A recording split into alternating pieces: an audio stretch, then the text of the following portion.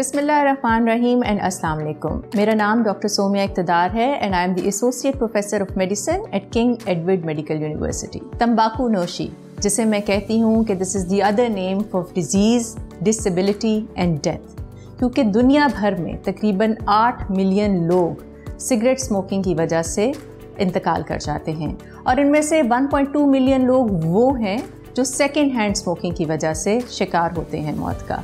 सो ये इतनी ख़तरनाक चीज़ है जो हमारे जिस्म के हर हिस्से को मुतासर करती है। फॉलेज दिल का आर्जा sugar blood pressure cancer specially lung के कैंसर मुँह के कैंसर की वजह सिगरेट नोशी है। नाइन्थ ऑफ़ मार्च 2022 को नो स्मोकिंग डे के तौर पर मुख्त किया गया है।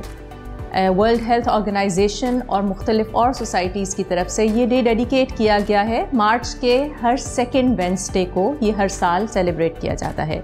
और इसका मकसद ये है कि हम लोगों को मोटिवेट कर सकें। उन स्मोकर्स को जो स्मोक करते हैं कि वो क्विट कर दें स्मोकिंग को। क्योंकि जितनी जल्दी आप इस लानत से छुटकारा हासिल करेंगे, उतनी जल्दी आप सफ़र का आगाज़ करेंगे एक सेहतमंद ज़िंदगी की तरफ़।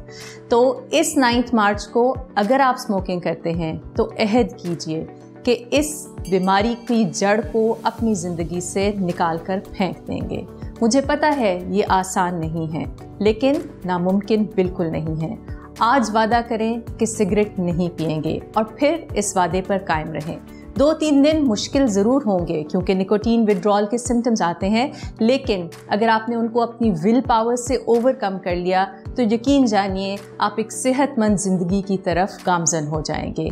आपका एनर्जी लेवल बेहतर होगा, आपको सांस लेने में मज़ा आएगा, आप ज़िंदगी की नेमतों को एंजॉय करने लगेंगे और बहुत सी बीमारियों के रिस्क को कम कर लेंगे।